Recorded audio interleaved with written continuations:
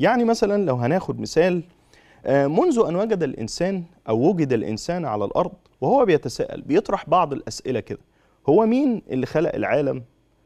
السؤال ده يعتبر سؤال فلسفي ولا ديني؟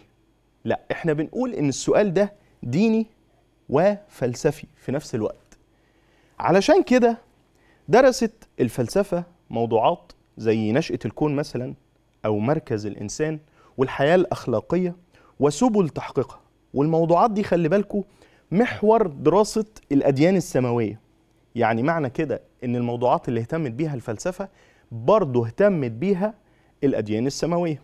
طيب أكد فلاسفة الإسلام إن العلاقة ما بين الفلسفة والدين ما فيهاش أي تعارض. يعني لا يوجد تعارض ما بين الفلسفة والدين. فالحق لا يضاد الحق. فالحق لا يضاد الحق. المقصود بالحق الأول الحقيقة اللي بيوصل بيها الدين والمقصود بالحق الثاني الحقيقة اللي بتوصل ليها الفلسفة. وإحنا هنا عايزين نقول إن الدين مش ضد الفلسفة ولا الفلسفة ضد الدين. فالحجة الفلسفية داعمة للإيمان والاعتقاد الديني مؤكد له.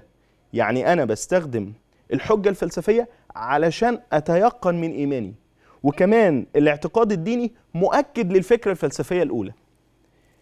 الدين والفلسفة يلتقيان في معالجة موضوعات زي أصل العالم مثلا وطبيعة الإنسان وطبيعة الوجود.